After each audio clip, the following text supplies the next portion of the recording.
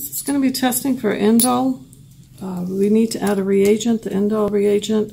Uh, sometimes this is also referred to as Kovacs reagent.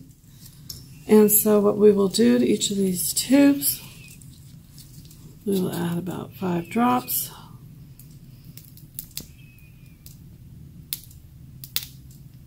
Once again, this has a glass ampule inside of this reagent bottle, so you just squeeze it or bend it a bit to break it, and then that, then you squeeze the whole thing. This cap does not come off. There's a hole in it, and you just squeeze it to get the the reagent out.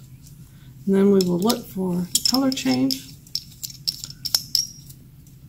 which as you can already see on this one, hopefully that it is turning red. That would be a positive for indole. This one has remained uh, kind of that yellowish color, but definitely not red, so it would be a negative. So red is positive, yellowish is negative.